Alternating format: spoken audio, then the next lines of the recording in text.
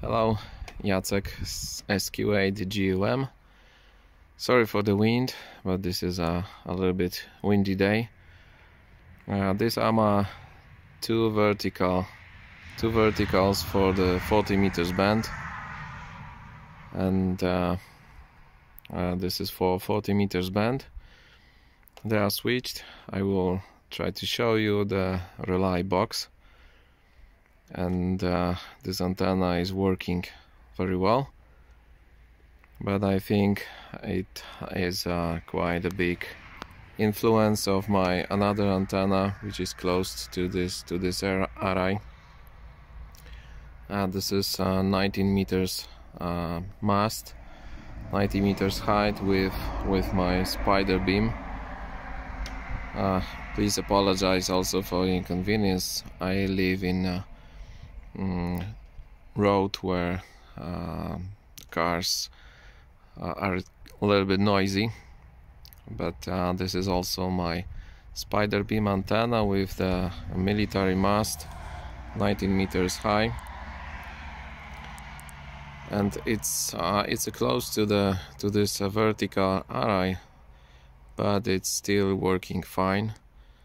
And uh, I see directivity and uh, in the direction when I switch this antenna between uh, west and south because this is um, how it is uh, set up on the ground according to the uh, to the north and south and, and these directions. So next I will present you uh, my relay box which with the phasing loop and uh, how I switch uh, between two directions. This is my antenna switching box. I don't know what I can find there because uh, as you can see it, it, was not open for a long time and I don't know this is a hermetic box but I don't know what would be inside maybe there are some places where water can go inside but uh, hopefully not but we'll see. And this is this is uh, the loop phasing loop. And uh, here comes the phasing loop. And the antenna right side and the left side and of course the supply here uh, where the, the cable which is going to the to the shack. And this is a um, cable which is uh, used to uh, to switch switch antenna back and forth. Uh, so I'm going to to open the the box and uh, we will see what is inside so I have unscrew all the screws. This is a I don't know if you will be able to see it is a IP65 waterproof but we'll see what is inside. Is open open the box. Yeah unfortunately some water went to this to this box but I don't see now a lot of water.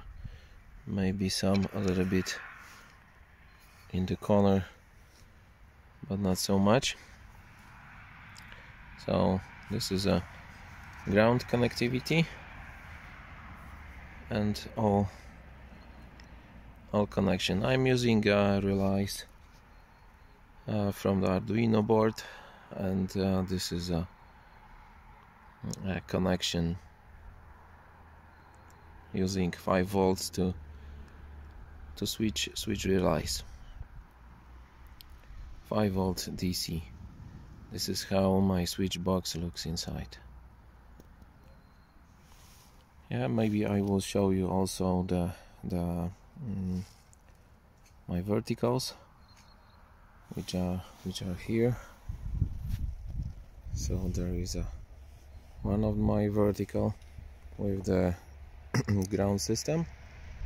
I don't have a lot of uh, counterpoises uh, but uh, maybe I will add this year a little bit of them. I stopped for a moment because of the noise of the truck. So this is how my antenna is mounted and and going up.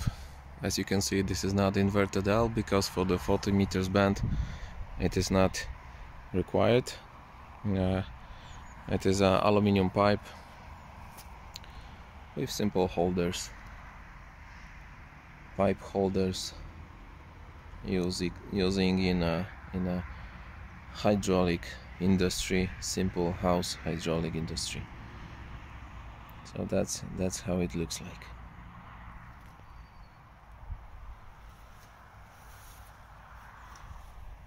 And my switching box. So thank you. Maybe it will help someone of you to make your own antenna. This is a great antenna with uh, two directions and uh, even four direction uh, we can say four direction but uh, three positions where it's uh, in my situation it's uh, east and west direction and also you can use this antenna as a as a B directional one and another vertical. Thank you. 73 and all the best in your constructions